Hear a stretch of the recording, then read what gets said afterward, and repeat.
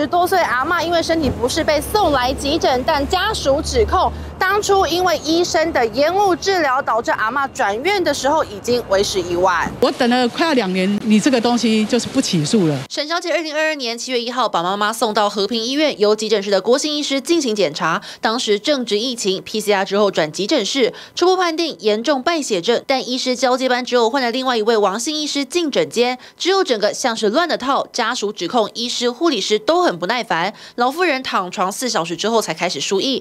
待急诊大约八小时，直到休克转院不久后就身亡。家属指控和平医院的医师没有触诊，却说有。原来我妈。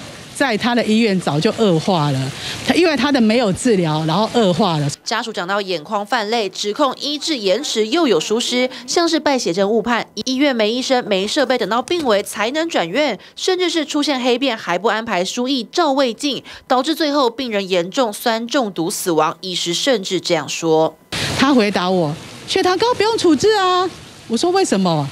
他说：“人体在有压力的时候，血糖高反而是好事。”结果我妈酸血症死掉了。因为妈妈严重酸血症导致器官衰竭不治，沈小姐等了两年多，只好重新再找证据。对此，院方回应：当时主治医师已经采取相关处置后转院，目前民事诉讼中，静待法院判决。那这些医疗鉴定的结果，因为侦查不公开，是没有办法看到报告的，也无从去争执这个报告结果到底是对还是错。所以，我们都会建议，如果相关的医疗诉讼，最好先从民事诉讼来做开打。律师也说，真走到法院这步，先告民事诉讼会比较好。但辛苦照顾生病的妈妈八年，结果进到医院八个小时就宣告不治，沈小姐想起来还是心痛。